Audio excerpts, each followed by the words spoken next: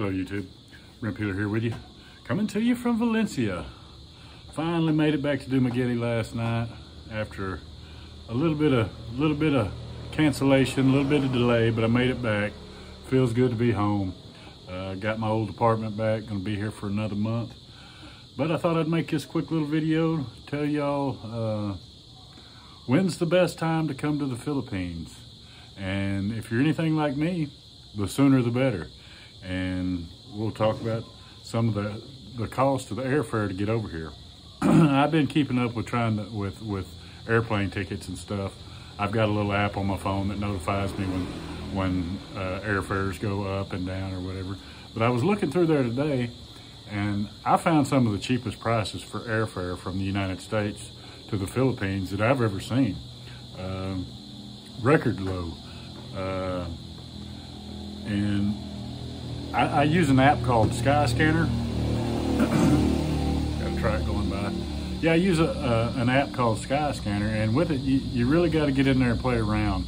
But they've got different options on the on the on the app where you can like so, select a whole month, and it'll it'll tell you the price per day, and you just hit the day, and uh, try to go try to find the cheapest fares. A lot of times I'll have to I'll go through different cities and hop around, and you'd be surprised how much money you could save uh, just by playing with that app. Uh, sometimes you can outsmart yourself like I kind of did on this little, last little adventure. But on the way to the Philippines, it's pretty cut and dry. It's, uh, um, I think, I think this last time I came to the Philippines probably cost me about a thousand dollars airfare. Well, you it's it's only a third of that now, folks. Well, I say that I looked, I played with the dates. I typed in September, and it was as low as 285 295 i'll put a picture here in the deal and, and show you uh, that's one way from from lax to manila and there's of course there's lots of different airlines and, and a lots of different uh, options to go but if you're just looking for the cheapest way to get over here uh, this x X-Men, I don't know how you how you pronounce it. It's a Chinese airline, I think. It's XI X-I-A-M-E-N, uh, $285 from LAX to Manila. Uh, got an ad popped up, let me see. Uh, China Airlines, $500. Uh, Filipino Airlines, uh, 684 Cathay Pacific, which is a good airline. I've, I've never I've never uh, dealt with Cathay Pacific, but I've heard nothing but good uh, about them. Uh, 544. Uh, Korean Air, 552. China Airlines, 500. Uh, Cathay Pacific, 544. United, 563. Uh, and, and, and a lot of these, the, the, the amounts vary on how long it takes you to get here, how many stops. Most of these are one stop. Uh, here's a, let me, let me go back to the the 280 something dollar one. It's a 28 hour flight and it's one stop. Uh, it's a layover in China. Uh, here's the, the China, the China Airlines, the $500 one is one stop and it's only 17 hours and 40 minutes. So if you're anything like me, uh, I want to get here the cheapest and the quickest way possible. Uh, but a, but a bunch of people that just want to get over here, they might want to really pay attention to this because uh, four or five hundred dollars worth of airline extras uh, could mean the difference of you making it or making or breaking you here in the Philippines, uh, giving you giving you the courage to get over here or to, to pull the trigger and go ahead and come. If this has been a dream of yours, uh, I'd say September's the definitely the month to go. Yeah, uh, cash is king over here. So, so you want to be able to uh, save as much cash and, and have as much cash available as possible. You know, you can pay for your hotels and that kind of stuff with credit cards, uh, but you definitely want to get over here with as much walking around money as you can, as you can, uh, as you can have. You know, you don't want, you don't, and like I say, $500 in difference in an airplane ticket could actually make you or break you, make you make this a your new home, or you might have to if you if you catch them fares when they're up, you know, it could be a thousand dollars difference, and so you can live a, you can live a a month easy on a thousand dollars a month uh, over here in the Philippines. So uh, you save you save a thousand dollars or you save half that. You know that's that's either an extra month or extra half a month, or or just a more comfortable uh, month in general. What I did when I came over here the first time, I, I got some cheap tickets and I flew from LAX or no, I flew from San Francisco to Tokyo, and I stayed three days in Tokyo just because I wanted to break it up. I didn't want to. it's like a 14-hour flight all the way over here to the Philippines, something like that, and so it was my first time flying anywhere that was over, you know, five hours. So I wanted to break it up. So I flew into Tokyo. Zip Air has a hell of a deal. They leave every day out of, out of LAX and fly to Tokyo, one way, a direct flight. I mean, you can get round trip, but I mean, direct flight for like $380. And that's every day. That's not, that's not catching it, you know, on a special or whatever. So that's the route I took. This last time I used Starlux, uh, which uh, was a little better experience, uh, way more luxury. Uh, it, it, was both of them was great flights. The Zip Air is more of a budget airline. They they weigh your bag, and their bags are expensive, so uh, keep that in mind. Uh, these some of these bigger airlines that that looks like it costs a little more. a lot of times there is cheaper, cheaper if you want to if you want to throw if you want to figure your baggage because some of the most of the major ones give you like a free carry-on and uh, like a satchel or whatever, and then uh, one to check in. These cheap airlines like Zip Air and Starlux, uh, they'll charge you for baggage, and they, it, it can be $100 uh, a bag, so keep that in mind. But if you're just wanting to come to the Philippines and money's the only thing holding you back, well, this is the time to do it. September September 29th is the day I typed in, and like I said, these these rates will go up and down. So uh, I've never seen them this low. And like I say, I've, I watch, I keep this Skyscanner app. I have notifications uh, come to me. When I first started trying to get over here six years ago, the cheapest I ever saw was $600 round trip and that was through like ASAP, and it was one of them companies, like a third party company. About that time, the Philippines closed, so I used them to go to Cancun instead. and the day before my flight, they uh, mess messaged me and told me that my return flight had been canceled. And so they was trying to get me to rebook for like a day or two later. And I said, no, I'm going. I'll worry about my my ride back later. You got a month to figure it out. I don't know why you're uh, stressing about this now. And matter of fact, the new plan, the new flights that they sent me, my return date was on the same date as, as the one that they was trying to cancel. So anyway, I uh, never used ASAP again. I try not to use secondhand carriers. Uh, I've used eDreams uh, three or four times, and that's been pretty good to me. So I, I, can't complain there, but your best bet is to go through the carrier itself, like if it's American Airlines or, or uh, just the name of the airline instead of these uh, third-party companies.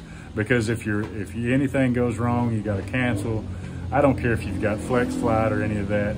It's much easier dealing with just the airline because if not, they're going to send you to that third party, and the third party is going to try to tell you to send you to the, the airline. It's just a whole lot less hassle if you'll just go through the, the airline that you choose to fly.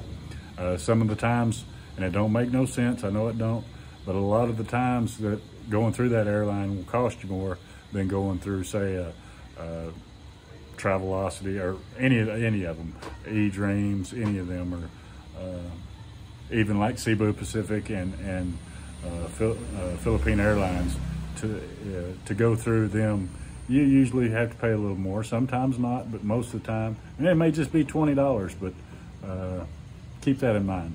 So uh, always try to use the airline uh, to book your tickets. And a lot of times you can you can go on these like the Skyscanner. Yes, it's third party, but it, it sends you to a deal and it'll give you like five different options. Do you want to use uh, the airline itself? Do you want to, and it'll give you the prices. And a lot of people just pick the cheapest one. But if you look at some of their ratings and some of the, read some of the reviews, you'll figure out that it's probably worth paying an extra 20 $30 to go with the, with the carrier, uh, or with the airline itself. Uh, that being said, uh, I know I know the price of the tickets over here is what held me back uh, for so long.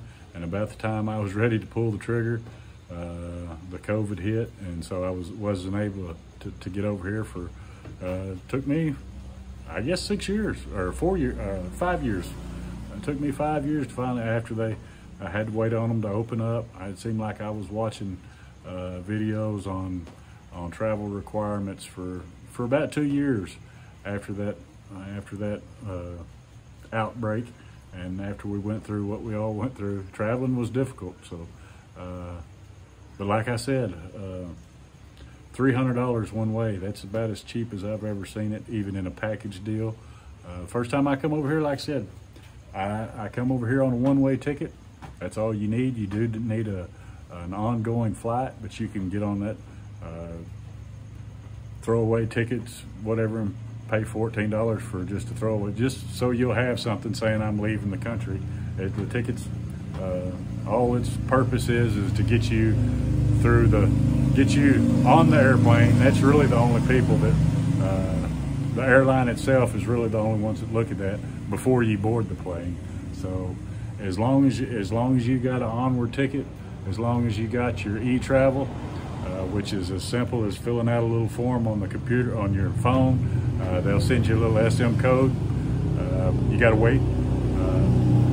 Uh, within 72 hours of your flight is the only thing, which is no big deal. Never had, never had any issues with it. Uh, it's always been an hour or two tops for me to get my e-travel voucher.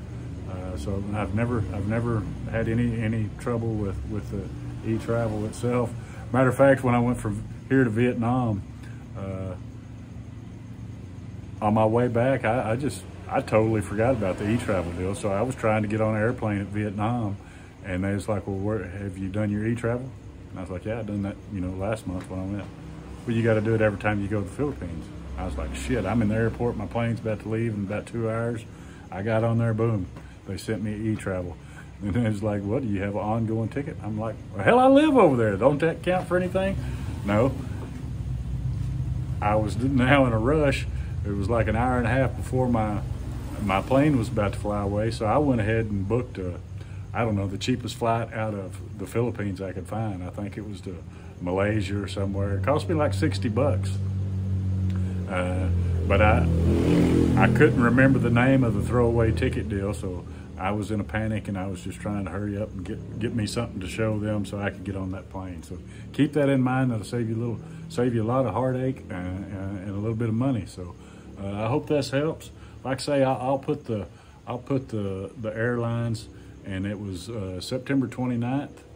Uh, was the was the cheapest I found but I, I, just looked at it for about five or ten minutes. So y'all can play with it. You can put in different. Uh, I did LAX was the cheapest. I, I, I, typed in Houston and Chicago, and out of the three, Houston, uh, I mean, uh, LAX, of course, it's the closest. It was the cheapest, and I even tried San Francisco because that's the last, the, the only two times I've come to the Philippines. I've wound up flying out of San Francisco, but LA LAX had them beat by hundred dollars. So I hope that helps. Uh, I hope that if you're wanting to come to the Philippines, that maybe this will give you a little push, give you a little urge, give you a little chance to do it. Uh, it's great over here, folks. It really is. I know we get on here and gripe about the little things, but the cost of living, the the, the beautiful women, the the awesome people, the the nature, the just the beauty is. Uh, every country's got its good and bad. When I make these videos, griping and stuff, I, I'm just trying to share my experiences and to keep some of y'all from going through some of the same things I got to go through. So keep that in mind. Uh, and most vloggers are. They're not trying to knock the Philippines or any country. I, I go to a lot of places that if I don't see, you know, I, am not here to, to just uh, hammer on a country. I wouldn't be here if I didn't love it. Uh, the Philippines, there's no way I could live like this back home. So uh, I appreciate y'all watching. Uh, I am back. I'm back in Valencia. It's going to be some more of these talking head videos for a while. I've noticed a lot of y'all don't like the travel videos. a few of you say you do, but I just don't get the hits when I'm traveling as I, as I do. Just uh, sitting here talking about the regular everyday way of life here in the Philippines or the everyday issues or the everyday. So I'll be here for about a month.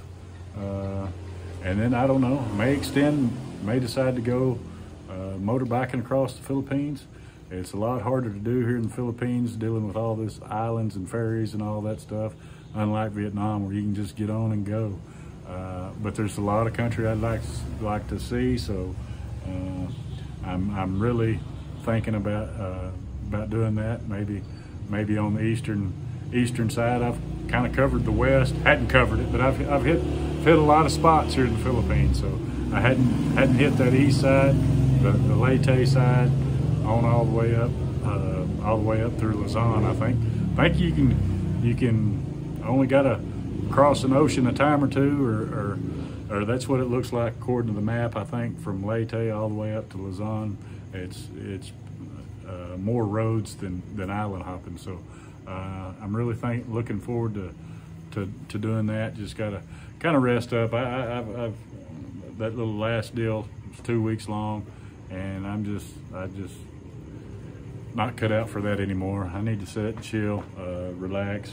Uh, and maybe in a month I'll be ready to go. Maybe not. Maybe I'll stay here another month. But anyway, folks, that's all I've got. Appreciate everybody that's given me that's subscribed. Uh, we've got over 2,000 subscribers.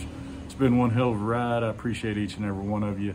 Uh, hit that thumbs up, thumbs down. If you don't like it, uh, hit me, give me a subscribe, shoot me a message. I'll try to get to you.